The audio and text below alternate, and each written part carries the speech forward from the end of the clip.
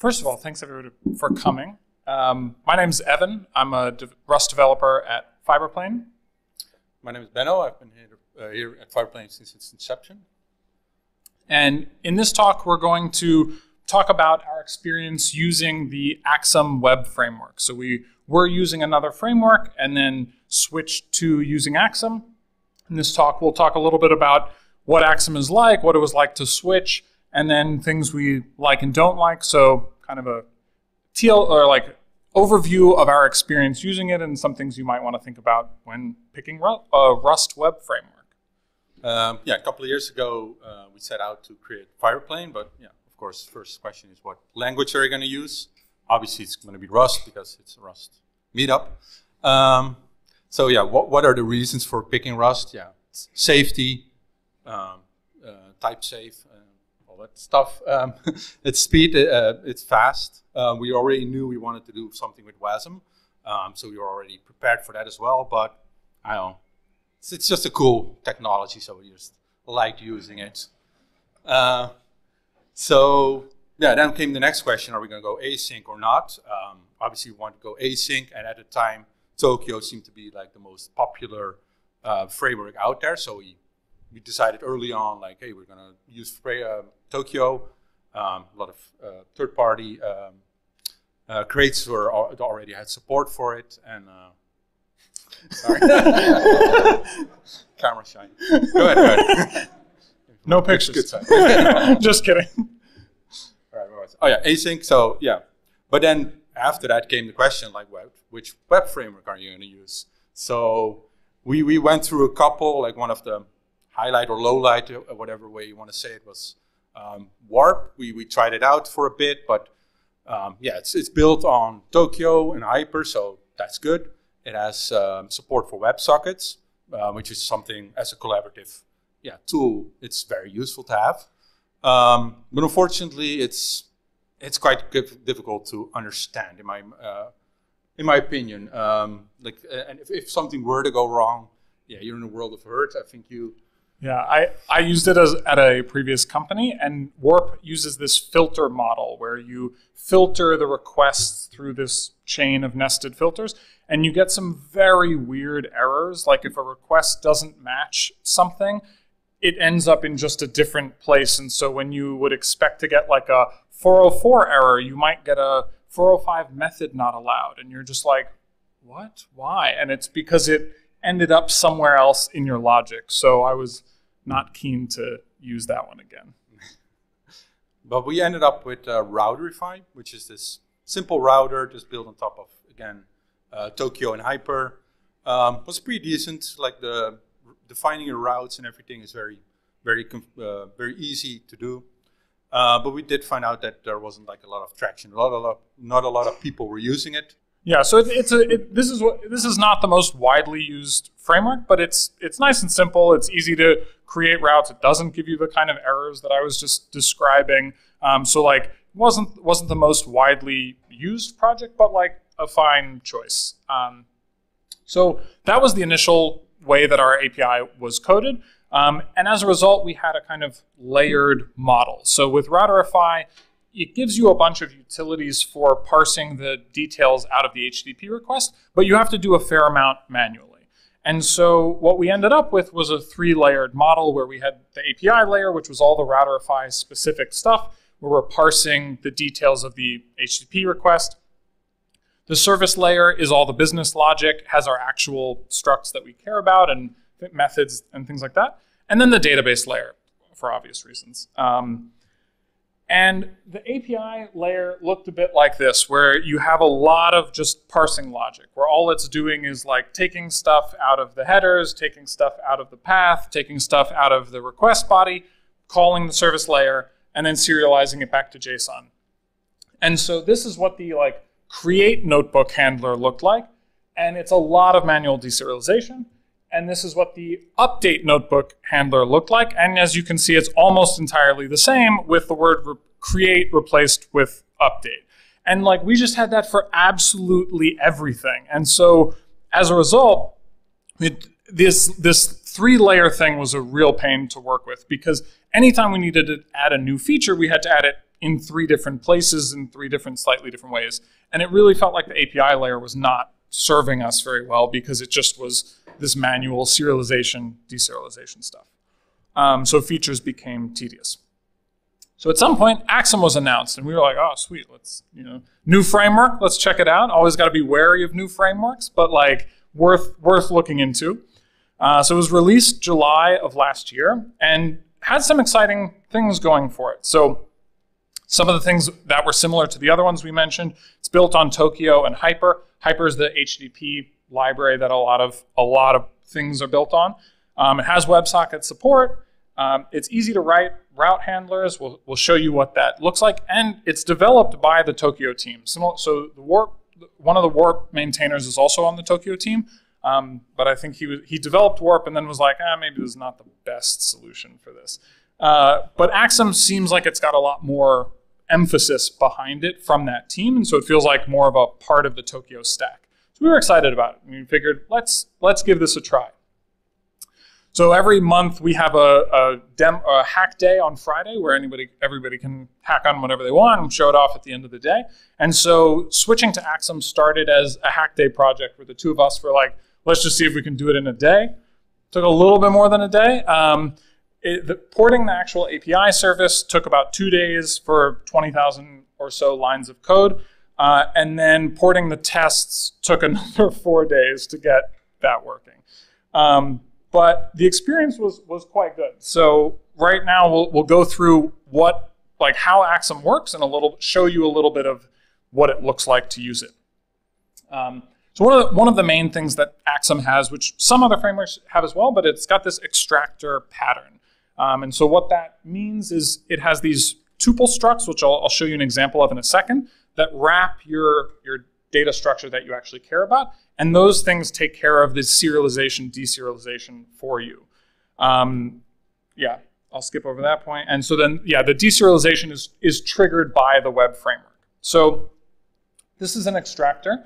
Um, so here we have our, our notebook create thing, and this is sort of skipping that whole API layer that we had before, because what we're actually using here is the, the core data structures that we have in our, in our service layer. And all we have to do is we have our handler function, our notebook create function, and we wrap the parameters to this function in a path extractor or a JSON extractor for the body. There's other ones for headers and things like that. And so that just, the function that I'm actually writing is a pretty simple function that takes Rust structs, not an HTTP request, notably. Um, and then I don't have to think about the serialization and deserialization. And the web framework, when it calls this handler function, it will call the respective methods to parse the details out of the request and so forth, which is really, really nice. It's like, it's there's a lot of cleverness baked into this. And so trying to like express how cool I think it is with this extractor thing where what it's showing you is just you have these tuple structs that wrap your thing and, and this is just destructuring those in your function. So yeah. That's the extractor model. Um, yeah, and uh, uh, other way around, it's it's sort of the same, but then you have to implement this into response trait, um, where you can basically just return anything from your your function, which if it implements this into uh, response trait, it will take care of, yeah, turning into a response. But this also has, uh, oh yeah, this is the, oh sorry, wrong button. Um, so this is what it looks like. It's just you're returning a JSON object uh, and then wrapping it like that. So super straightforward. Uh, but it also means that unit testing is super trivial because instead of uh, instead of um, uh, having to like call your function and having to do your deserialization based on what is being returned, you can just do this directly on a struct itself. So here, here you can see that this notebook create is returning a JSON object again, or sorry, yeah, uh, tuple, uh, um, and it's uh, but we're extracting that notebook from it, and that is just whatever you put in there, like whatever struct you put in there. So you can just do like an assert on notebook equal notebook title equals whatever, and you don't have to deal anything with deserialization within your tests.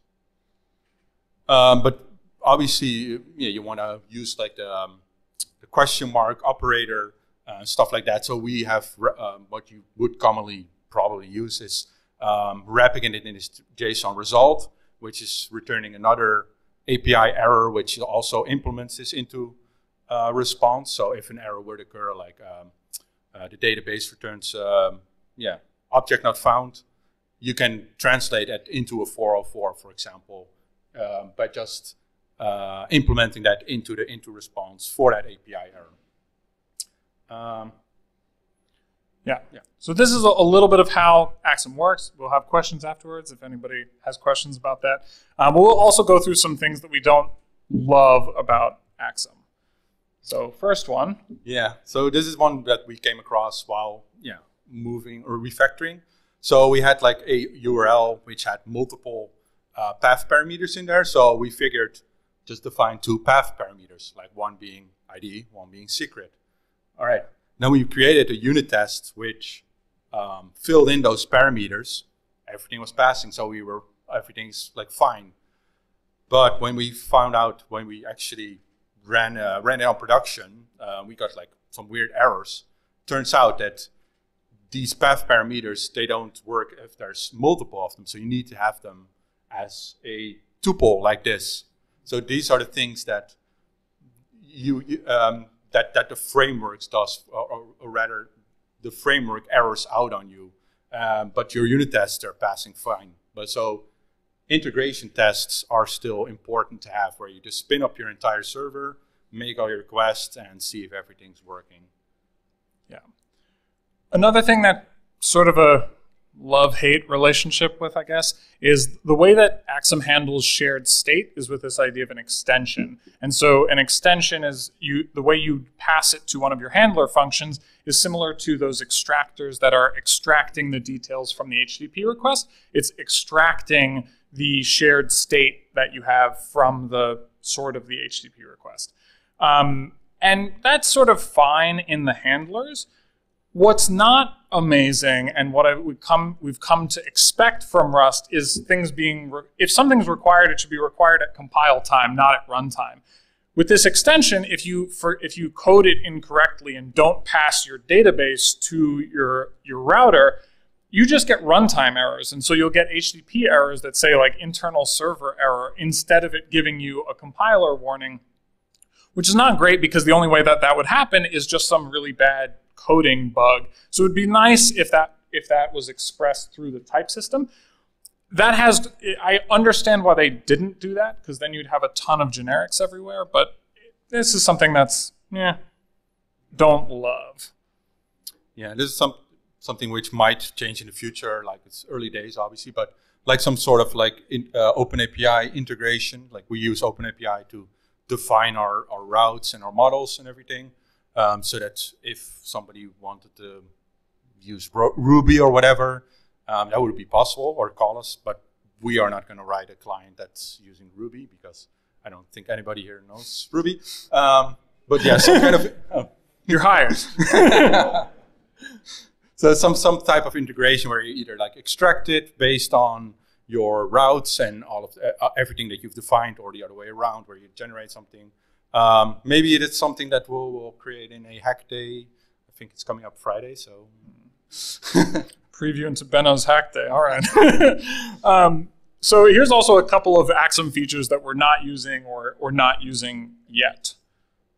So first one is Tower middleware. Oh yeah. Yeah, so Tower middleware. So Axum is built on top of Tower, which is yet another layer, but there's already a lot of um, yeah, middleware um, created for Tower um, such as compression, rate limiting, all of these other things that you see listed here.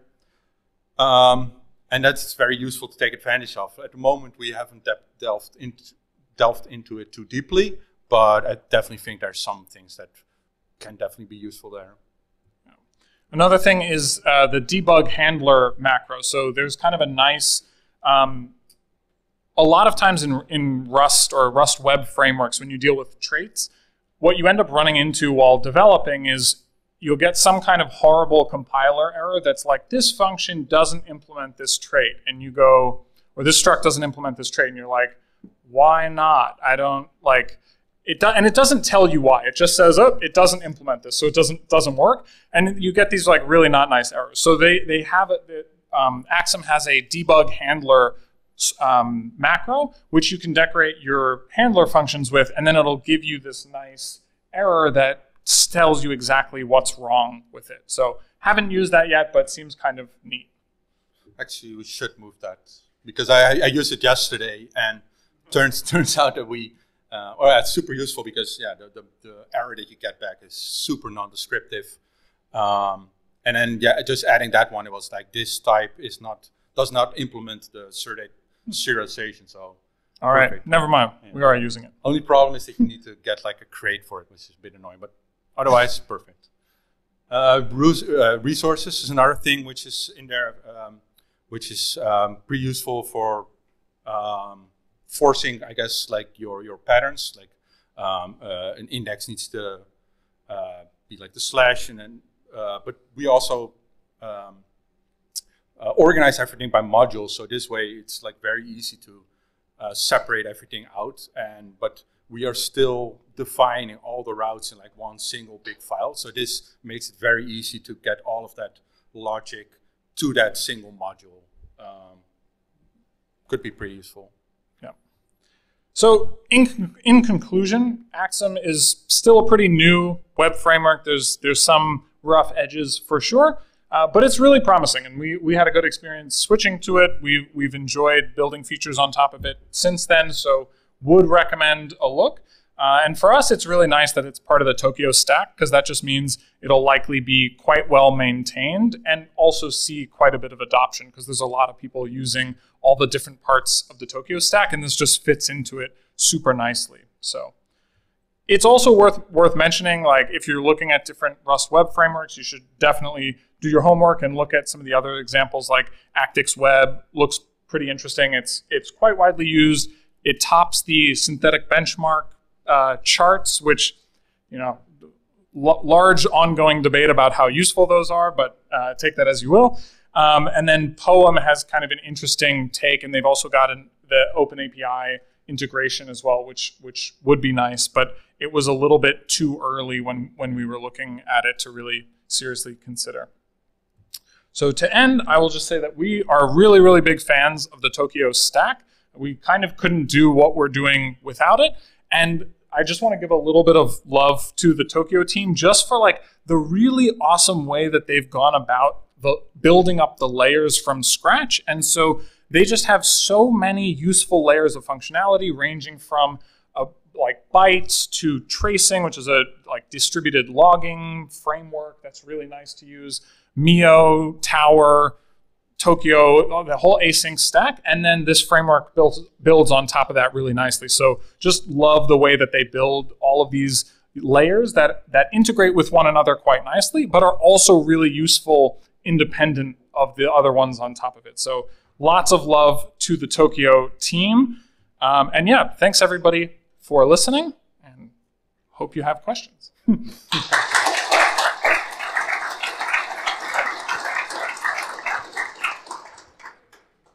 So, any questions?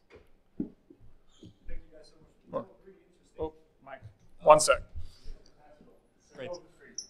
So yeah, thanks guys for the talk. Really interesting stuff. Uh, I was wondering a little bit about why why not choose Actix. So a lot of the advantages that you mentioned, uh, similar like the the deserialization serialization part, were also present in in Actix. And I heard you mention uh, basically Hyper as one of the key considerations for not choosing it. I assume so.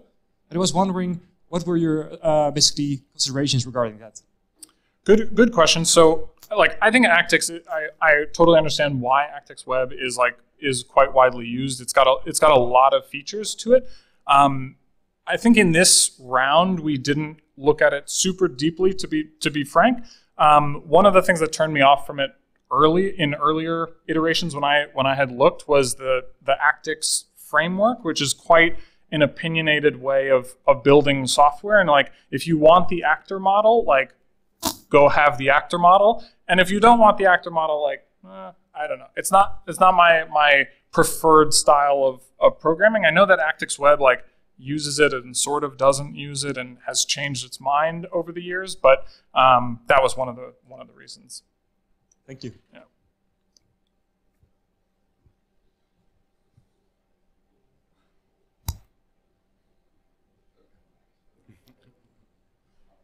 I have a quick, uh, quite quick question. Um, the way it, the framework works reminds me a bit of, I'll say it, Java Spring. So it's um, okay. Um, if you were to talk to a normal architect manager, how would you sell uh, a Rust-based framework Hmm. versus the default staple of, uh, of Spring? And actually, uh, or, or would you, or, or would you actually leverage the fact that hey, it's basically like Spring, so it's not that big of a mental mental leap. So, and so what what are the other like uh, super advantages that make it make it absolutely uh, default choice to, to not go with Spring? Which I would really love to have these in my in my pocket. Well, there's there's less uh, XML, I guess. that's that's gone okay. Caught up on it. No, no, yeah, it's. Um, I want to say like like it's it's a bit lower level. It's not very define all your things in. Well, I, I assumed XML, but that's I guess changed. Um, and yeah, I, I'm definitely not the right person to, to speak to like the Java stack or, or Spring, but like I think the first first choice is more about like programming language than about about web framework and like I think there are a bunch of reasons to choose Rust for new projects, and and um, I would probably not want to be behind trying to rewrite a big Java service in Rust, but uh, just because it's you know rewriting anything is really complicated, and you sort of miss out on all of the nuance that you built up over the years. So like, I would be wary of a big rewrite. Um, writing in Rust is a super ha- has been a really nice experience. It's got strong type system. It's also quite low level, so I think the things I'd reach for it for first are um, if you were ju- like purely building a web service. That's like a team choice. What it, what's everybody most comfortable in kind of question. Um, I think some of the areas where Rust really shines so far. Um, building command line tools. Rust is a really, really nice command line tool library called Clap. That's a, a great thing. Anything related to WebAssembly, Rust is really like the choice of language for WebAssembly stuff. Um, and then a lot of lower level things where you really need the performance and Java doesn't doesn't cut it, then Rust is a great choice for that. Beyond that, I think you're kind of in like what do, what do people love using, what do people prefer, and I think there are a bunch of reasons why Rust has topped the developer like what's it the developer happiness survey for a lot of years. Like I, I think there are good reasons for that. It's also frankly pretty hyped, so there's some of that too. I have a question about this extractor structs. Uh, like, uh, do you have ability to customize them if you have some unusual like way of serializing, deserializing your stuff? Yeah. So how to test it?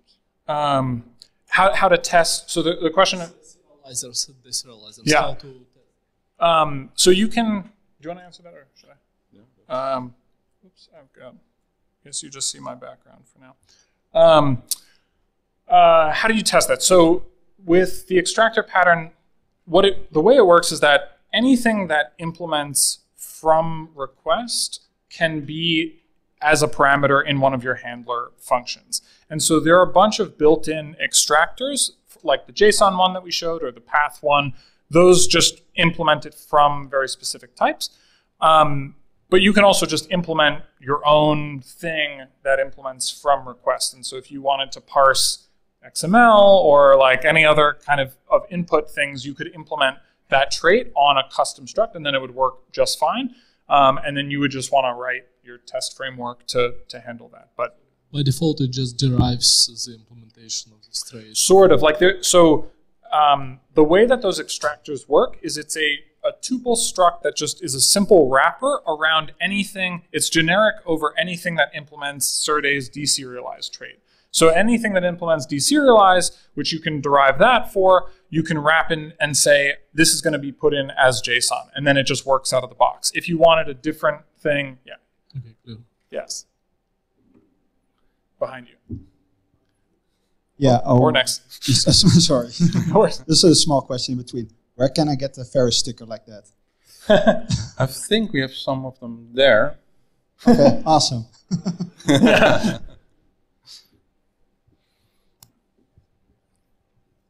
Hey, uh, what's the HTTP2 tree support like in the framework? Or does it exist? Um, I don't actually know. I so the question was, what's the HTTP three support? Um, Or even two? So two definitely supported because so the way that this stack works is Hyper is the one that actually implements those protocols, um, and so there is support for HTTP one and two in that. I would guess that they're they're working on it or have have worked on it, but I'm a- I actually am not sure. Um, but but it's a good question. The thing I like about the way just to speak to like the the thing I like about Tokio's layering in this sense is that be, Axum doesn't actually have to support HTTP3 by itself because it's built on Hyper, which is used by a lot of different web frameworks. And so that's where actually the HTTP implementations would live. And I think there's something very nice about that because that HTTP implementation can be shared across a lot of different higher level frameworks. And then they just take advantage of that instead of having to roll it themselves. Um, but yeah, I would be so willing to bet that if it if HTTP3 support isn't already implemented, there's like a big issue with a lot of people focusing on it, or someone's got like a draft PR uh, for it. But don't know. Good question.